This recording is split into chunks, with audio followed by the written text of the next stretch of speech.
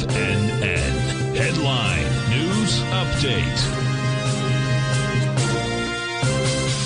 And welcome to the 2 p.m. update with me, David White, here at TFNN. And of course, uh, we've had Chairman Powell uh, talking. Probably everybody is looking for any crack, uh, a sign of just the thinnest sign of light. And of course, uh, saying that he's probably not going to be raising interest rates uh, at a uh, three quarters of a percent going forward.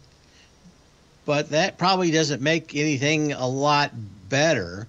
I think a lot of people are getting in front of the market right now, thinking that uh, it's the end of the year. We'll probably have less selling. Fund buying really kind of starts tomorrow, and we're up 45 points on the S&P cash. The volume is not all that exciting since he started speaking at 130 but uh, just a handful of things.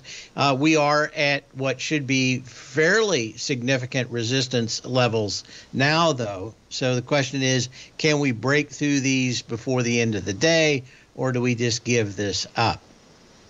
Of course, uh, earlier in the morning, the ADP reported fewer jobs listings in October than expected. The Labor Department also said job openings fell in the month. Uh, DoorDash uh, laid off uh, 1,250 folks, so those uh, layoffs in tech continue.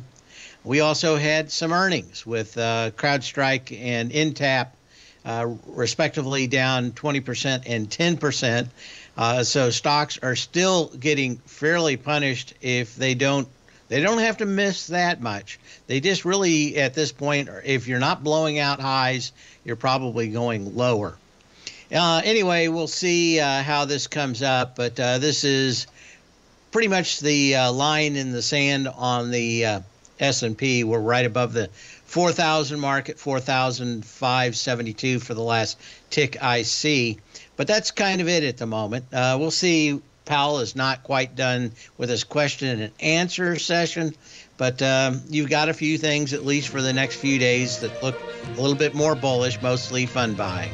We'll be back with the show in just a few minutes.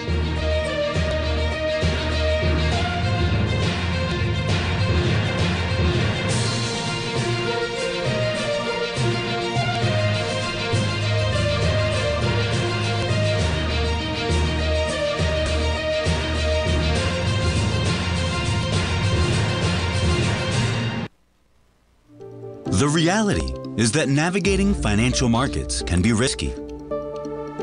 Markets can be chaotic and difficult to understand.